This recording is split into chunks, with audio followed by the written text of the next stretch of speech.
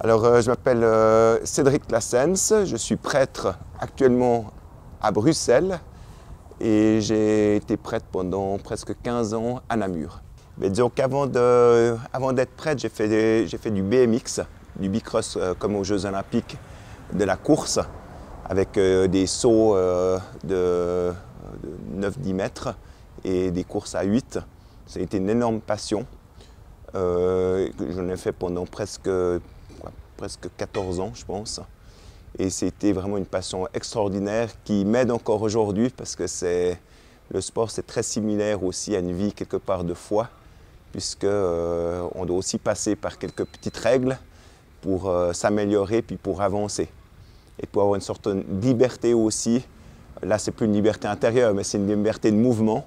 Et on est obligé de passer aussi par certaines règles qui nous donnent une vraie liberté, une joie énorme de pouvoir posséder le vélo d'une certaine manière. Bon, la communauté, c'est toujours euh, la communauté d'Emmanuel, c'est une communauté assez fun. Donc, euh, il n'y a pas eu de problème à, mettre mon sport en, pratique, même si aujourd'hui, c'est clair que le fait qu'il n'y a plus vraiment de pistes là où je suis, de, BMX, je, me suis plus ramené sur le, le, VTT et aussi la course à pied. Notamment, je suis tellement persuadé des bienfaits du sport et évidemment aussi de la prière, vraiment un corps sain dans un esprit sain j'ai lancé même sur la paroisse ce qu'on appelle le best-of. Euh, à, l'époque, ça s'appelait Best-of Sainte-Julienne quand j'étais à Sainte-Julienne. Maintenant, c'est Best-of des sources vives, maintenant que je suis à Bruxelles. Et euh, le principe, c'est d'avoir une heure de sport avec les ados. En général, c'est le dimanche à 17h. On fait à peu près une heure de sport avec des coachs.